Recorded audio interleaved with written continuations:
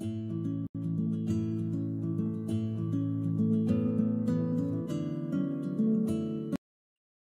and welcome back everyone to the live session on anubhavtrainings.com. I personally welcome all of you to this live stream on YouTube. And our topic for today is, can we use multiple DataSphere models in a single SAC story? So if you are building a DataSphere collection of different objects for analytical purpose, is it possible to use all of them in a single dashboard? in SAP Analytics Cloud? This was a very important question asked by many of you over the email. And today we will try to investigate and find an answer for the same. So in a simple answer, it's possible. But let's go ahead and look that into the system as well. Before we start the live session, please hit the like button. Also kindly try to put your questions in the live stream over here in case you have any. So let's get started.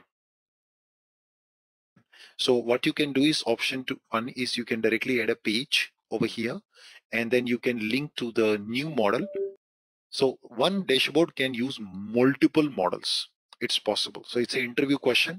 Is it possible to use multiple analytical model from DataSphere in SAP Analytic Cloud single story? The answer is yes.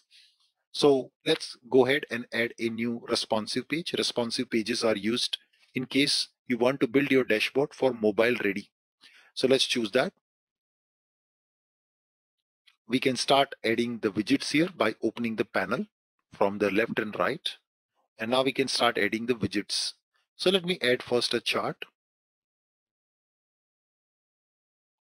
And I would like to choose my model. So you see there is this button.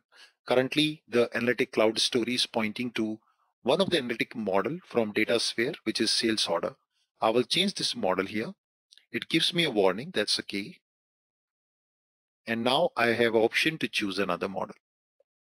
I go back to our SAP DataSphere connection, go open the space, and I should see my store transaction analytic model from DataSphere.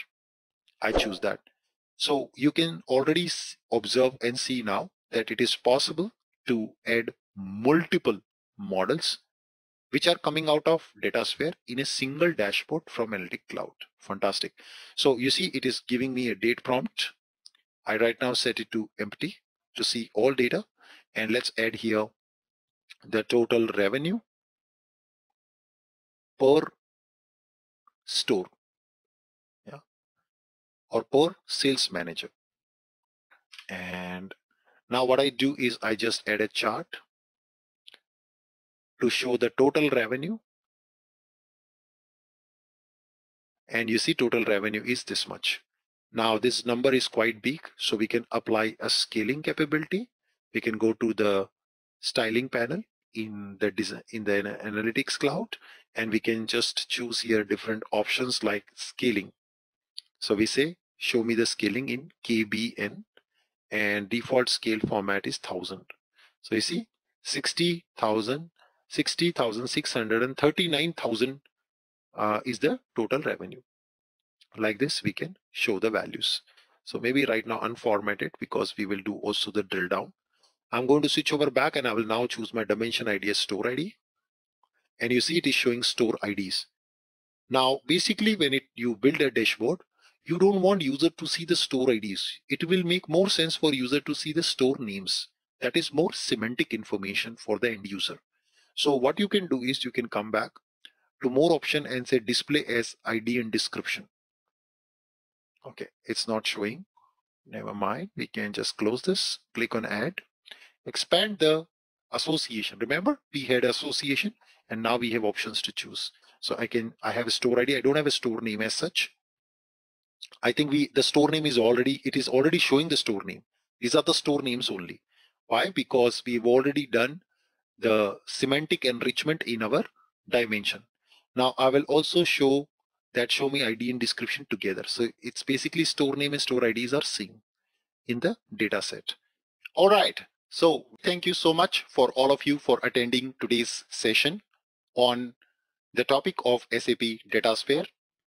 As usual, please feel free to subscribe the complete training end-to-end on SAP DataSphere, SAP Analytics Cloud, SAP BTP, UI5 Fiori, or any other technical skill set which you would want to upgrade in this new world of cloud. So do not forget to visit www.anubhavtrainings.com.